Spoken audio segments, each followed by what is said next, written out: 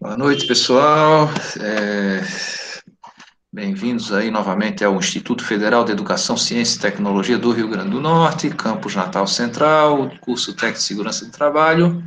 Meu nome é Ricardo Machado e hoje é dia 1 de setembro de 2021 e a gente está aqui na disciplina de Prevenção e Combate a Sinistro e o nosso tema de hoje aqui vai ser o para-raio, Sistema Preventivo contra Descargas Elétricas Atmosféricas. Então, deixa eu aceitar quem está chegando aí. Quem chegou, quem for chegando aí já está aqui no chat, vou colocar novamente o link da chamada. Quem chegou agora mais uma vez, está aí o link da chamada no chat. É... Agora, pronto. Então vamos lá. Vocês estão conseguindo resolver as atividades ali? Eu vi, comecei a lançar a nota no swap mas, de asfaltos, mas ainda não lancei a primeira etapa toda, tá? Mas a gente já terminou o primeiro bimestre aí, né? Mas de qualquer forma, lembrando aí que as atividades vão ficar abertas, porque eu vou ter a posse do diário até o final. Então ainda dá para quem não fez, estar tá fazendo, tá? É, alguém me fala no chat aí se está conseguindo acessar, conseguindo fazer essas tarefas, e ver as aulas, né? As aulas gravadas. Estão me ouvindo? Sim, beleza. Está, estamos sim, Aí, Miguel, tudo bem? Carlos, beleza. Vivian também disse que está tudo certo ali. Vamos aí para a nossa um barulhinho aqui, porque chegou o meu sogro com a minha filha agora aqui da escola. Todo com esse copo aí. A joinha. O quê? A joinha de medição. Joinha o quê? Vem cá. Aqui. Minha filha tá rindo de mim porque eu tô com a jarrinha de medição do bolo, mas é para água, é para a pessoa tomar pra água. água, sim. Tô aqui com o cálice sagrado aqui, o Santo Graal dos professores mais renomados. Agora vai lá, deixa o pai dar aula aqui, home office. Vamos lá, pessoal. Desculpem aí o transtorno. Chegou aqui outro estudante que não estava não tava no ensino presencial hoje. Pronto, aqui a dúvida da Vivian, se as atividades do primeiro bimestre vão até a semana 5. Isso mesmo, tá? Então, são 10 semanas, fechou a semana 5, eu vou fechar a nota do a nota e a presença do primeiro bimestre, tá? A nossa recuperação é, é fazer aquela atividade que não fez ou aquela que tirou nota baixa, e a recuperação vai ser isso, tá? A avaliação é continuada para a recuperação também ser continuada. Então, se vocês têm nota baixa ou não fizeram alguma, né, depois quando eu lançar a nota lá, olhe lá no swap, se levar um susto lá, ou foi injustiçado, me diga, que aí a gente vai ver, vai corrigindo, ou vai orientando vocês qual, qual nota está faltando, né? Tá? Para que todos sobrevivamos a esse sinistro dessa disciplina, né? Vamos chegar, vamos chegando no fim. Já foi a metade. Então vamos lá, deixa eu só um momentinho aqui para eu abrir o slide. E mais alguma dúvida podem ir falando aí no chat, ou abrindo o microfone. Professor, a gente tem que postar as respostas dessas atividades até quando? A princípio, né, assim, está fechando o primeiro bimestre, né, mas assim, eu, elas vão ficar abertas até o final do semestre, tá? Temos mais cinco semanas para a gente completar tudo aí. Não tem a data exata aqui, mas mais cinco semanas. A gente está na semana cinco agora, né? Então, essa semana e mais cinco semanas. Certo. Não é porque eu acho que as duas últimas, eu, eu não me recordo de se, tinha, se a gente já tinha tido aula do sistema, desses sistemas preventivos. Aí eu disse, não, acho que é a aula que ele ainda vai dar. Aí eu não fiz, não, as uhum. últimas. As duas. Sim, é a aula que eu vou dar hoje, né? Acho que já tem atividade. Aquele, aquilo que a gente combinou. Vocês tentam fazer lá assistindo a aula gravada e depois assiste aqui ao vivo. E a gente aí vai. É, pode refazer, né? Se precisar. Tá? Então, deixa eu só abrir aqui a, o slide. Deixa eu dar uma olhadinha aqui só no Google Sala de Aula, se é isso mesmo. Peraí, semana 5. Então, ó, sistema. É, deixa eu ver. Isso, SPDA, sistema, atividade número 13, é o sistema preventivo contra descargas elétricas atmosféricas. Tá? E aí a gente vai começar a ver também a parte do sistema hidráulico preventivo, ainda essa semana, tá? o sistema preventivo por hidrantes, aí a parte hidráulica tem sprinkler e hidrante, né? E na aula da sexta-feira, já, já vamos começar aí. Ok, vamos lá. Então, hoje vai ser o para-raio. Aqui. Deixa eu aceitar quem está chegando agora. Quem está chegando, está aí no chat formulário de frequência, e agora eu vou compartilhar aqui o slide. É, para raio.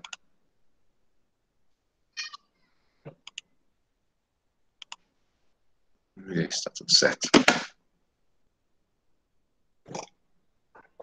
Deixa eu repor minha água aqui com a minha jarra graduada. Isso aqui é tudo calculado, viu? Quantos ml de água o professor toma aqui, tudo depende do dispêndio energético. Tudo planejado no projeto político pedagógico aqui do, do IFRN. Vamos lá. Professor, posto os slides depois no grupo? Sim, posto, posto sim, é, Vivian. Está pedindo aqui no chat, né? Esses slides, gente, também não vou cobrar direito autoral, não, tá? Vocês depois podem usar na vida de vocês, é comum, o Tec Segurança está dando alguma palestra, né? Na sua, na sua empresa, ou daqui a pouco vocês viram professores também. Tá? Não tem problema não, não tem esse preciosismo não, que puder aproveitar aí, é, tá valendo, tá? Então vamos lá para o primeiro momento aqui de sensibilização e mobilização. Olha só, qual é o problema de um raio cair no meu prédio, né?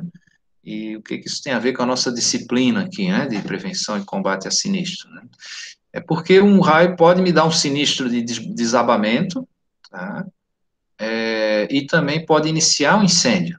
Tá? Então, por isso que ele é exigido aí nas edificações, e o, nesse caso aqui, o bombeiro não tem uma instrução técnica só para isso, tá? O bombeiro aqui vai confiar no Conselho Regional de Engenharia e Agronomia, o CREA, né? Então, vai exigir lá um profissional, como, como é exigido um profissional para calcular a estrutura do prédio, para esse prédio não cair, também essa parte de para-raio aí é, se confia nisso. Né?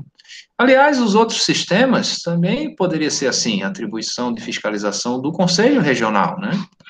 E se desse errado, por exemplo, falhou ali, não tem o extintor de incêndio porque não foi projetado para esse prédio, o profissional responsável é, ser é, realmente assumir esse ônus, né? O profissional técnico responsável pelo projeto assumir esse ônus. E se não tem projeto e foi a prefeitura não aprovaria, né, esse esse edifício, né? Então fica difícil você construir, a não ser que seja uma construção clandestina, né? Mas para ganhar um alvará de ocupação você tem que ter projetos, né? E mais a maior, os projetos de incêndio, o sistema brasileiro ainda é assim, tramita no bombeiro, e o bombeiro é que fiscaliza, e claro que vai ver se esse profissional tem, tem registro no conselho de categoria, né? Ah, ah, então, o caso aí do, de descarga elétrica atmosférica é o engenheiro eletricista. Eles detestam que sejam chamados de engenheiro elétrico, tá? Meu irmão, inclusive, é engenheiro eletricista, detesta disso, porque se chamar de engenheiro elétrico, ele vai dizer que ele não é movido a pilha. E eu fico rindo assim, ah, se for assim, o engenheiro mecânico tinha que ser chamado de engenheiro mecanicista, porque ele também não é movido por engrenagens, né? Mas eles têm esse preciosismo, então tem que chamar de engenheiro eletricista. Então, é, da onde vêm os raios, né? E será que o raio é uma coisa exclusivamente do nosso planeta? Né? Já vou dizer para vocês que não, né? O raio é um deslocamento de energia elétrica. A energia elétrica sempre parte do maior potencial para o menor. E nesse caso aqui, o menor potencial é, na maioria das vezes, é a Terra, mas não necessariamente. Eu posso ter a Terra eletrizada e o raio ser inverso, né? O raio abrir o, o, arco em direção à nuvem. Esse raio também pode abrir de uma nuvem para outra, tá? E é muito comum, quando vem de cima para baixo, né, atingir um ponto mais alto, e aqui tem a teoria das pontas, né? A teoria das pontas diz que eu tenho uma concentração de carga nos cantos vivos, nas quinas e nas pontas, e é baseado nisso que se inventou os primeiros para-raios, Um deles é o para-raio desenvolvido pelo Benjamin Franklin, né? E até hoje tem esse nome de para-raio Franklin, que ele tem ali quatro pontas, né?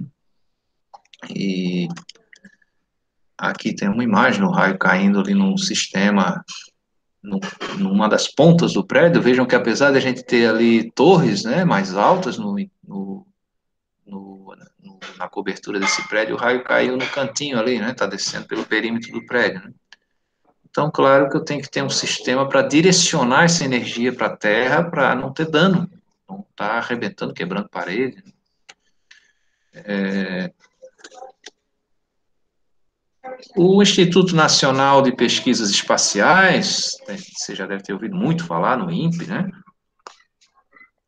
É, teve envolvido em polêmicas políticas aí, né? Que o Instituto, o INPE, faz as pesquisas especiais, as espaciais, mas não é só para lançar astronauta, né? Faz pesquisas de clima, né? De monitoramento de focos de incêndio com imagens de satélite e também estatística aqui de raios, né? O Brasil é um dos países do mundo que mais cai raio, né? Deixa eu aceitar o Vandenberg que chegou agora. Pronto, Vandenberg, boa noite. Está aí no, no chat o link de chamada. O Brasil é um dos países do mundo que mais cai raio. Por quê? Porque ele é um dos maiores países do mundo, né? E, e também ele está na região tropical, que é onde eu tenho preferência de formação de, de nuvens eletrizadas aí.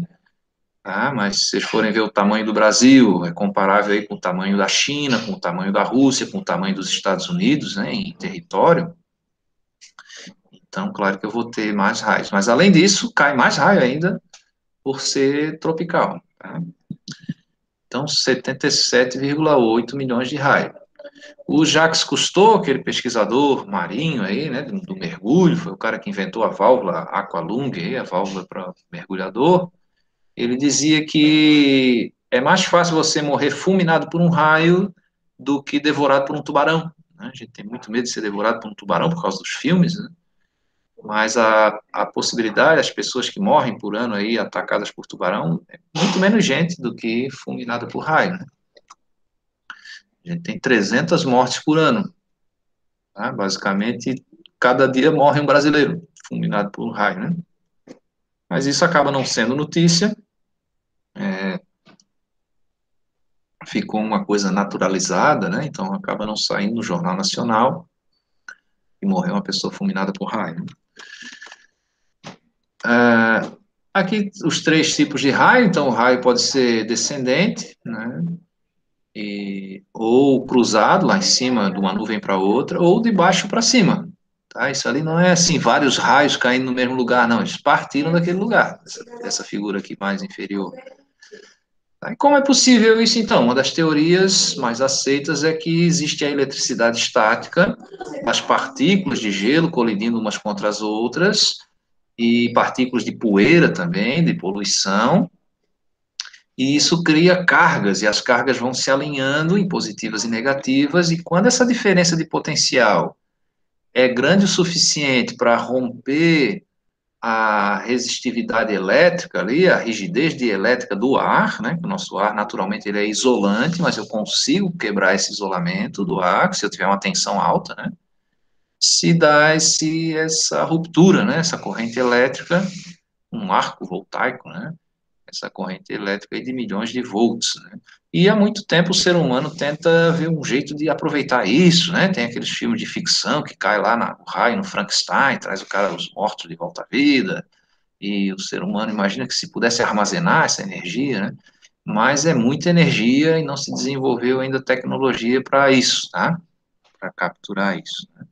O raio não é um fenômeno necessariamente do nosso planeta, a gente tem raios lá em Marte, né? Tempestade de areia pode provocar o raio, né?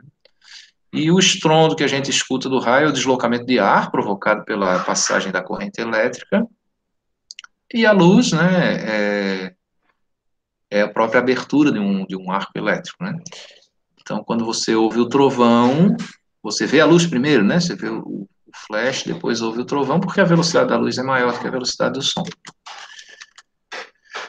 Certo, ó, é possível ter raios também em erupções vulcânicas, parece uma coisa assim, é, é, mística, né? Ou vai sair o X-Men ali de dentro, né? Vai sair o Super-Homem, o Incrível Hulk ali de dentro do vulcão, o Poseidon, sei lá.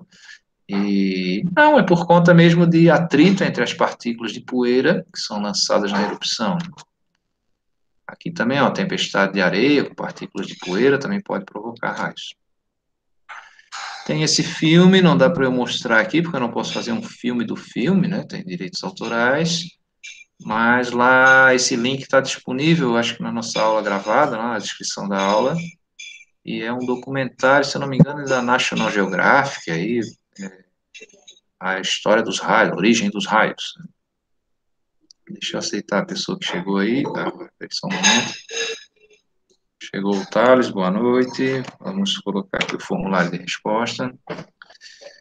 E aqui no chat, né? Então, tem um filminho aí sobre a origem dos raios, né? Ah, o Benjamin Franklin, né, já desde antes da, da era... A era da eletricidade, gente, ela iniciou ali no século XIX, né, já se tinha pesquisas, né? Mas ela teve realmente um, um desenvolvimento de tecnologia maior no início do século XX, tá? Então, houve ali um, grandes pesquisadores e alguns até que desenvolveram produtos, né, e tornaram a eletricidade útil, né, para o ser humano. Mas o Benjamin Franklin, ele é mais antigo, né, e ele tinha aquela história de empinar a pipa, né, com a chave, o raio cair na chave, conduzir ali a corrente elétrica, tinha uns experimentos assim, e ele é, inventou também, é, ele, o Faraday, né, o cara inventou a gaiola de Faraday, né, a gente vai ver agora logo em seguida, que é um sistema que a gente usa até hoje, o para-raio Franklin e a gaiola de Faraday, os dois sistemas aí de para-raio. O INPE dá alguns conselhos para a gente não morrer fulminado por raio, por exemplo, cuidado aí para não praticar essas atividades de agropecuária ao ar livre em tempestades magnéticas, né? ficar ao lado de veículos ou andar de bicicleta e moto também em tempestades magnéticas, permanecer em campo aberto, para raio, também o raio cai na árvore, a corrente elétrica passa por você também. E objetos condutores de eletricidade a gente está evitando, né? Telefones fixos aí, celular conectado no carregador, da, na tomada, porque o raio pode cair na rede elétrica e, ele, e elevar a tensão aqui na sua casa e você tomar uma descarga. Tá? É, também se é, se acolher em abrigo aberto, né, não, não se acolher, né, em abrigo aberto, em deck, sacada, né, todo de varanda, você tem que se acolher num abrigo fechado que seja aterrado, né, porque daí o raio vai, se cair ali, ele vai percorrer o perímetro, vai passar por você a energia. Outra questão é a tal da tensão de passo. Quando cai um raio, você tem uma, uma, um gradiente ali de, de diferença de potencial. Então, se você tiver um passo muito largo, essa diferença de potencial entre uma perna e outra pode ser o suficiente para fazer passar uma corrente elétrica em você. E é por isso que morrem, as vacas morrem, né? Porque elas têm um passo maior do que o humano. Tá? Pode ocorrer também da vaca se encostar na cerca e o raio cair na cerca, né, que, é um, que é metálica, normalmente de, de aço carbono galvanizado. Né? Então, pode ocorrer aí do boizinho morrer eletrocutado pela tensão de passo. Ali o gráfico da esquerda mostra isso, né? porque ele é quadrúpede, ou aí na cerca. E também, claro, as vacas vão se abrigar embaixo, se tiver em campo aberto, vão tentar se abrigar embaixo de árvore, o raio cai na árvore acaba matando a vaca. Ah, a norma do bombeiro, ela diz que, que ela diz que as edificações e áreas de risco devem ter o sistema de para-raio, mas ela não diz como especificar, tá? Ela manda usar as normas oficiais, normas brasileiras oficiais, são as normas da ABNT, e as normas das concessionárias de serviço elétrico. Ah, então, vai pedir, claro, um projeto de engenharia aí, né? Um projeto de engenharia para esse sistema, tá? É, eu já comentei com vocês, né, que o projeto preventivo de incêndio, normalmente a gente não faz sozinho, vai ter uma equipe, Normalmente nessa equipe vai ter um engenheiro eletricista, um engenheiro mecânico e um engenheiro de segurança. E os técnicos participam também né, da avaliação da edificação e, e, e também de especificação de, de, melhorias de medidas de controle né, dos sistemas. Os técnicos de nível médio, tá? Opa, chegou a Michele, só um momento. Boa noite, Michele. Está aqui no, no chat o nosso formulário de frequência. Uh, os silos. Professor. Sabe? Oi, pode falar, amiga. É, eu acho que tinha até passado, mas vou tirar a dúvida. Então, tem uma das questões do questionário lá falava sobre a relação do oxigênio com a descarga elétrica. Como é que isso acontece? Do oxigênio?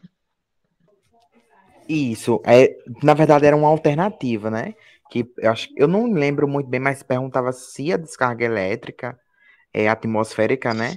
É, ela era uhum. possível acontecer em ambientes pobres de oxigênio. Aí eu quis entender essa relação, que eu nunca tinha visto isso. Ah, é possível, né? A gente tem Marte, né? A gente tem lá descarga elétrica, porque não depende da presença ou não de oxigênio. Você depende de você criar uma diferença de potencial elétrico. Tá? Sim, então, entendi. Tem que ter isso, né?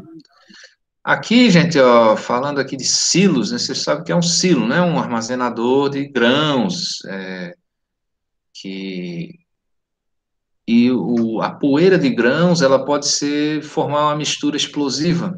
Tá? Então tem que aterrar. É, e além disso também esse contato do, de um grão com o outro aí dessa poeira pode gerar uma diferença de potencial ali. É por isso que a estrutura do silo, que normalmente é metálica, ela tem que ser aterrada também para evitar isso, essa criação de cargas, para essas cargas já irem para o terra, e eu tenho um para-raio externo, porque mesmo não tendo a carga interna de eletricidade estática, eu posso cair um raio nesse silo, né? Então poderia detonar uma explosão dessa poeira.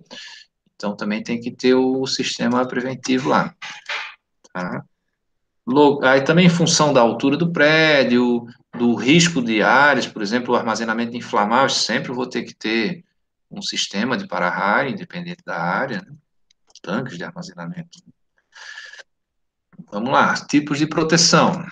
Temos duas aqui, a gaiola de Faraday e o para-raio Franklin. Esses caras são os caras antes do início do século XX, né? E eles pesquisaram muito isso aí, ficou o nome deles nesses, nesses equipamentos. Tá?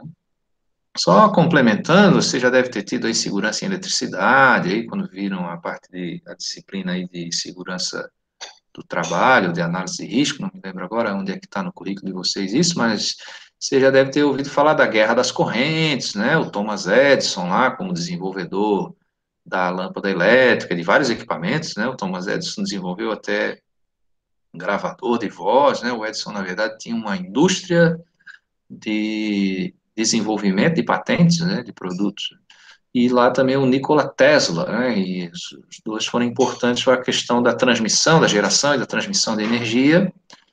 O Edison defendia a corrente contínua e o Tesla defendia a corrente alternada. E os dois estavam certos, né? Para determinadas coisas a gente até hoje usa a contínua, por exemplo, esse aparelho que vocês têm na mão aí, funciona com corrente contínua, os televisores, os celulares, os computadores mas a transmissão é dada por corrente alternada, porque tem menos dissipação de energia, que era o que o Tesla queria, né? Na verdade, o Tesla queria transmissão sem fio, as grandes torres para eu transmitir com campo magnético, que é o Wi-Fi hoje, né? Mas ah, e alguns carregadores de celular, por exemplo, usam esse princípio também, gera um campo magnético e consigo carregar o celular sem fio. Então, as duas tecnologias se desenvolveram, os motores elétricos também de corrente alternada têm uma eficiência maior, então tem uma historinha também da briga do Tesla com o Edison sobre o motor elétrico, né? Daí entram as grandes corporações que eles prestavam serviços, né? A General Electric e, é, e a General Electric e a outra, não me lembro o nome agora aqui, é, que eram duas gigantes aí de, de energia, né? Produtos e energia. Tá? De qualquer forma, esses dois caras aqui, o Faraday e o Franklin, são anteriores a essa briga aí. Tá? Então, ó, veja aqui, o Benjamin Franklin, em 1755, ele faz, fez um ensaio de uma esfera de cortiça eletrizada, com, pendurada com um fio de seda, e ela entrando numa lata, né? Então, viu esse efeito do campo magnético ali, é, nessa lata metálica, né, aterrada ali. E 1800, aí, uns 100 anos depois, quase aqui, né, o Michael Faraday criou uma sala revestida de metal e ele entrou nessa sala com um eletroscópio e viu que não tinha nenhum campo magnético dentro dessa sala, né? Porque o campo magnético acaba sendo periférico pelo metal ali que revestia as paredes, estava inventada a gaiola de Faraday. É uma das proteções aí contra o campo magnético. Vocês podem fazer esse ensaio, se você botar o seu celular aí dentro de uma gaiola de metal, você vai ver que ele perde o sinal, mesmo a parede sendo vazada, né? Perde o sinal de, de telefonia, é, você não consegue ligar para ele, né? Perde o Wi-Fi também, né? Então, porque eu tenho ali um, uma corrente periférica. E isso é útil para proteger uma edificação contra raio. Né? Tá aqui a gaiola de Faraday. Né? Então, no interior ele é isento de campo elétrico e esse campo está externo e ele vai ser anulado pela corrente elétrica periférica dessa gaiola. Aqui a gaiola de Faraday, que está o homenzinho ali, e essa torrezinha, que parece uma coisa de ficção científica ali, é a torre de Tesla, tá? Tesla desenvolveu uma grande torre com uma bobina elétrica ali, e a ideia dele era o seguinte, cada cidade teria uma torre dessa no centro da cidade, e nas casas a gente teria uma torrezinha menor que receberia, não essa descarga elétrica aí, né, mas a gente receberia, converteria o campo magnético emitido por uma torre em eletricidade. Tá? E aí poderia-se ter esse capacitor, esse coisa também diretamente nos aparelhos, para não precisar de fiação, né? Então era a ideia, era a ideia de, de se ter uma transmissão sem fio que hoje a gente usa é, já para comunicação via rádio, comunicação Bluetooth, Wi-Fi, né, e o celu, telefonia celular também, com as microondas, né? mas para transmitir eletricidade mesmo, eu conseguir converter, eu teria que ter uma potência maior, um campo magnético bem maior. Tá? É, é, tem, existe uma banda chamada Arc Attack, ela faz os shows lá tocando guitarra com as roupas assim de, de telas metálicas e abre os arcos voltaicos lá e dá um som também, né? Um espetáculo lá com a torre de Tesla. Claro, se eu não tiver a minha roupinha ali, aí dancei, né? Eu, eu viro churrasquinho porque é alta voltagem, sei. Acima de 100 mil volts aí, não é legal, né? Inspirado nisso, imagine a gente poder vestir um prédio com essa roupa, né, com essa gaiola. É a gaiola de Faraday. Aqui está conjugado as duas coisas nessa figura aí, tá? A gaiola de Faraday que pega o perímetro do prédio e a cobertura e as descidas, né, também. E as pontas que é o Franklin, pequenas pontas lá onde também o raio pode cair e ser conduzido para essa gaiola. Tá? É muito comum a gente mesclar os dois sistemas. Se eu tiver grandes áreas, é melhor eu mesclar os dois sistemas. Pequenas áreas, a gente usa normalmente só o Franklin. Por exemplo, ali naquela torre onde é feita a árvore de Natal, aqui, acho que ali é Mirassol, né? Você, um para-raio só, você protege aquilo ali. Porque ele abre um cone de 60 graus de raio. De, de ângulo, né? De cobertura. Tá? Então, nessa figura aqui, a gente vê isso também. Ó. Tem o, no perímetro do prédio a gaiola de Faraday e no centro o para-raio Franklin. Sempre o para-raio Franklin tem que ter pelo menos duas descidas. Deixa eu ver se consigo botar o meu mouse aqui. Ó, uma descida aqui e outra descida, né? E as outras partes metálicas ali, pontas, tem que ser também aterradas no sistema de para-raio. O Fábio, boa noite, Fábio. Vamos colocar aqui o link no chat. E vamos aqui seguindo. A gente está sobre para-raio, tá? Vamos lá. A norma que trata disso, gente, é a NBR 5419. Tá? Você vai lá no catálogo da ABNT para ver se estamos na versão certa, né? Essa daí de 2015, né? foi editada, atualizada em 2015. E ela diz ali o catálogo, essa, essa figurinha do catálogo da ABNT, que ela está em revisão. Então, clique aqui que você pode ver o projeto da nova norma já para ir se preparando. Né? É claro que a gente tem influência nessas normas aí da indústria, né, também do governo, né, e, e claro, da, da, da, pesquisa, da ciência, né. Ah, mas existe, claro, interesse industrial aí por conta dos produtos que podem ser gerados por essa norma, né, e, e então ela trata aí dos princípios gerais, né. Então está aqui o para-raio Franklin. Se lembre que o para-raio, gente, ele é a ponta, tá? Essa ponta vai ser instalada numa haste. Essa haste pode até nem ser condutora, porque partindo dessa ponta ali vão descer os dois cabos de cobre Tá? Esse aqui dá para ver isso, ele tem embutido aqui com um parafuso, você põe um cabo aqui, aperta esse parafuso, põe outro cabo lá, aperta esse outro parafuso. Esse aqui é mais sofisticado, você prende o cabo com a própria ponta aqui, você desenrosca essa ponta, põe o cabo no furo e aí aperta aqui essa ponta com, tem uma rosca aqui, né, aperta com a chave e vai prender o cabo, sempre duas descidas também, tá, para cada para-raio.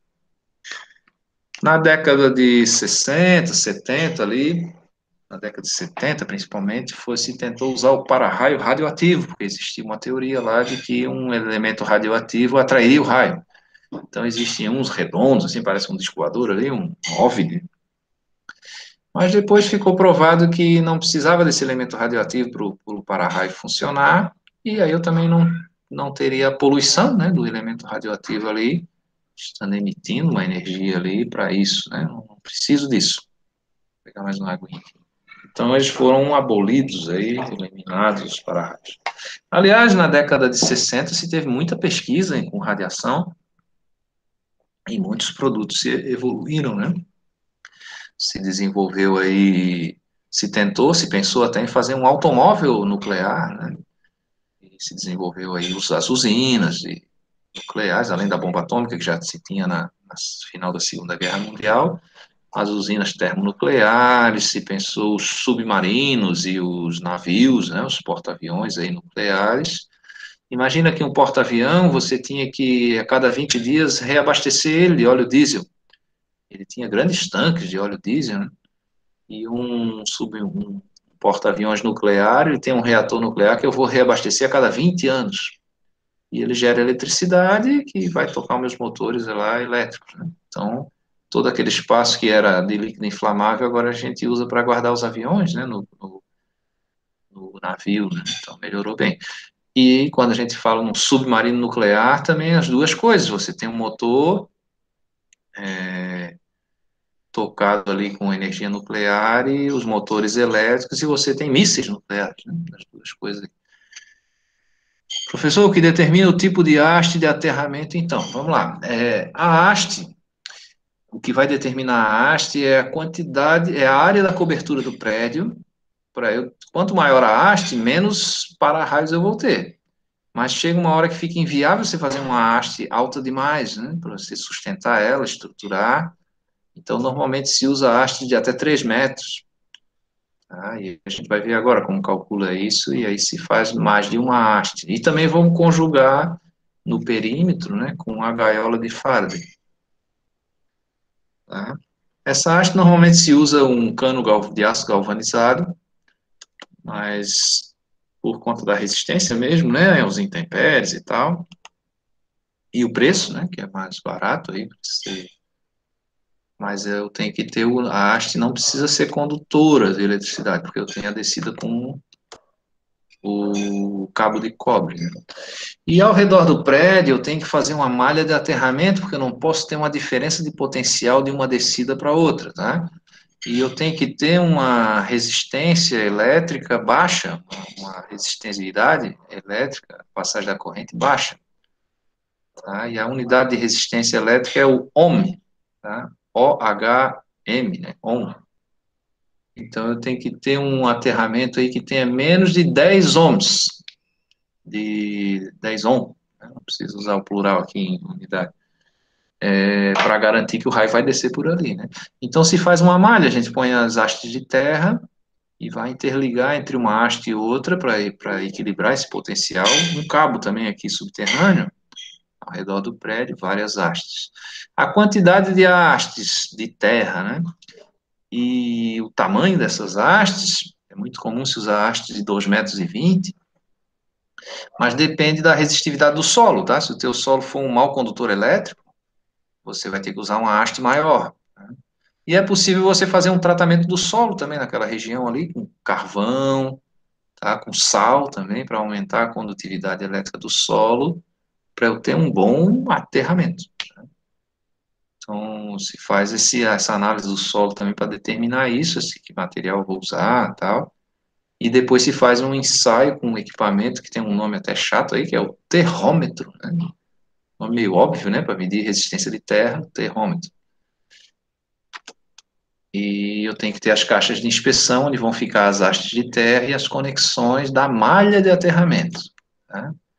E está aí o terrômetro. Antigamente eu tinha que desconectar o cabo para ligar os dois bornes no terrômetro, né?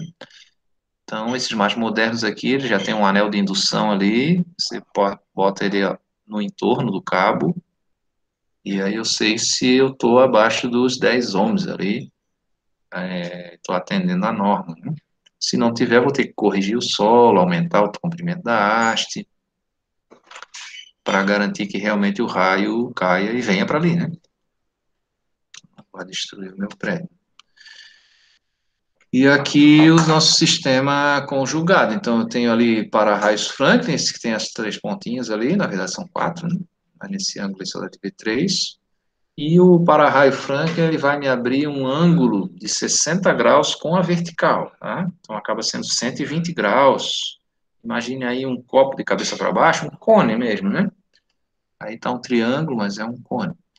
E é com essa tangente aí desse ângulo, porque a tangente é o cateto oposto sobre o cateto adjacente, ah, que vai me dar a altura da haste. Vou calcular a altura em função disso, né?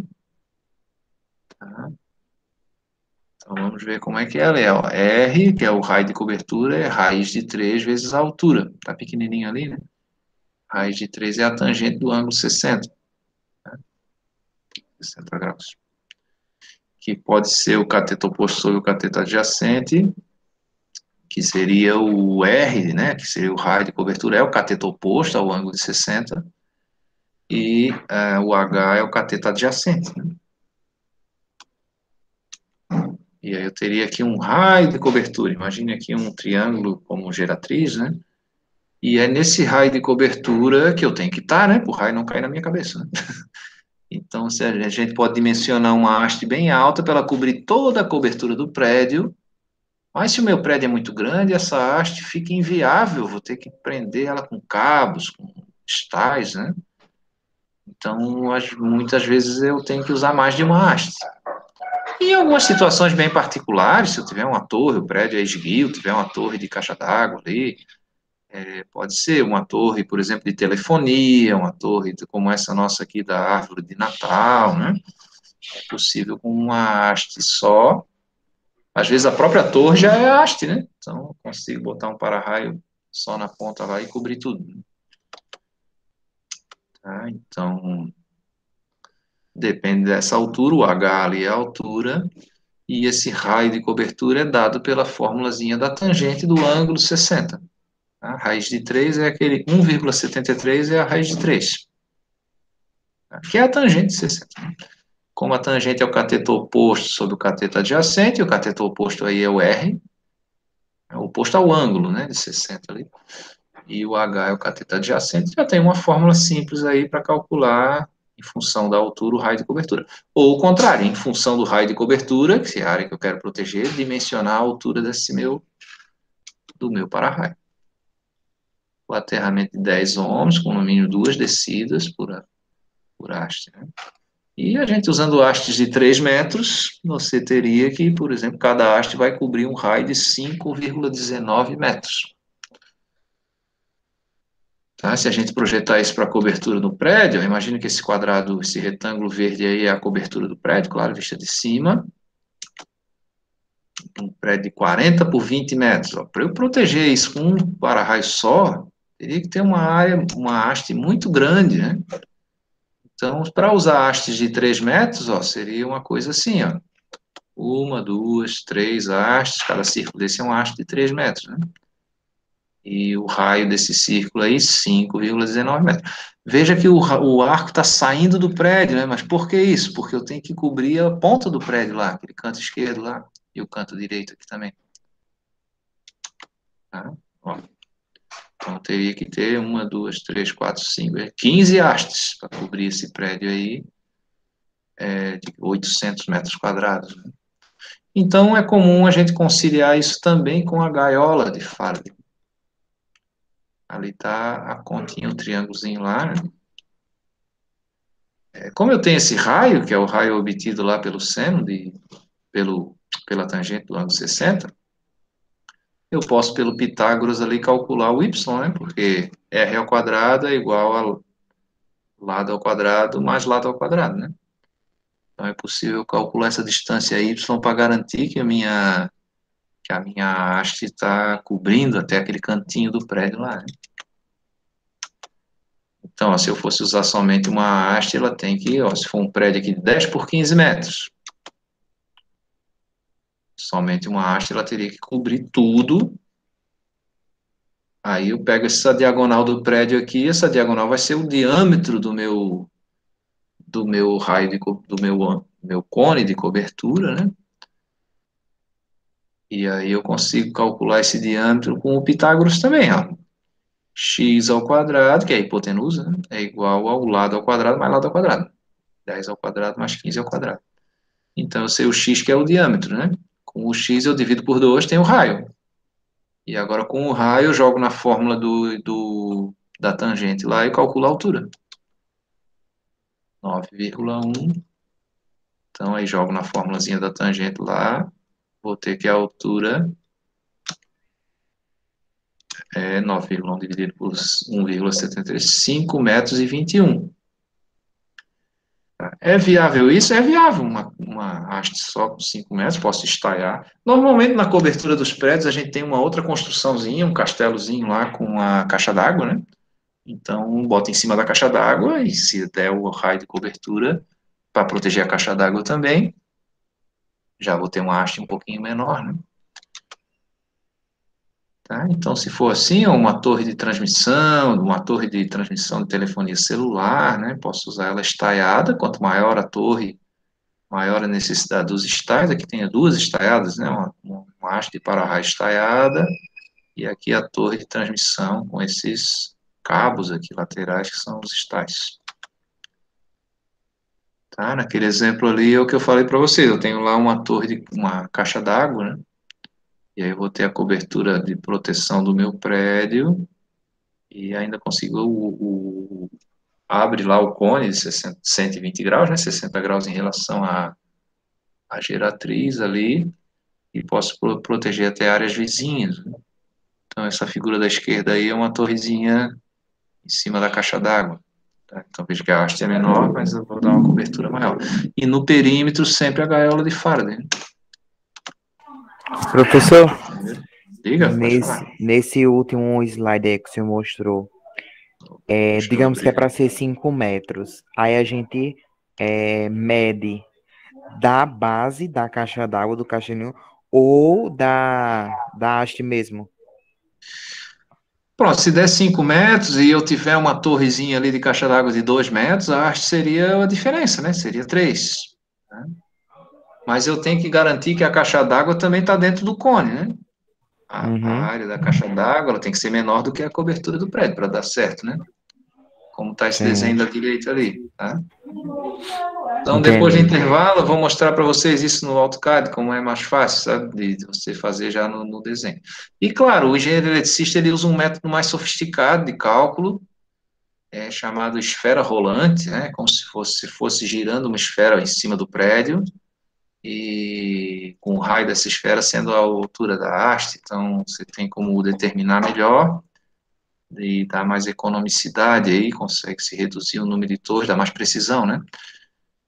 Tá? Mas, de maneira geral, assim, a gente consegue por esse método aí da tangente. Sair pela tangente, né? Tem essa expressão, dizer assim, oh, o cara saiu pela tangente. É, nesse caso, da expressão é diferente, é sair da tangente da curva, né? Você não conseguiu fazer a curva e sair pela tangente da curva. Aqui é a tangente do ângulo 60, porque a gente sabe que é o cone de proteção. É um cone invisível ali, mas é, se o raio for cair ali, cai no para-raio. né? Se a minha área estiver debaixo desse cone, o raio vai cair no para-raio. Ok, gente, vamos para o intervalo. Mais alguma pergunta? Professor, eu não consegui encontrar qual a IT que trata especificamente de descargas elétricas. Pronto, é isso. Não tem uma. Já houve, não uma IT, mas existia um capítulo no livro, no decreto do bombeiro lá, que tratava uhum. disso. Hoje em dia não tem uma IT para isso, mas ele referencia, se eu não me engano, é lá na IT 01, que esse sistema vai ser projetado conforme as normas da ABNT e as normas da concessionária elétrica, tá? Então não tem IT específica para isso, não. Tá bom. Obrigado. Beleza, valeu, gente. 15 minutinhos, daqui a pouco estamos de volta. Voltaremos às. Faltam 10, né? Vamos botar 20 horas e 5. 25. 20 horas e 5 minutos, tá? Chego já. Valeu, para a gravação.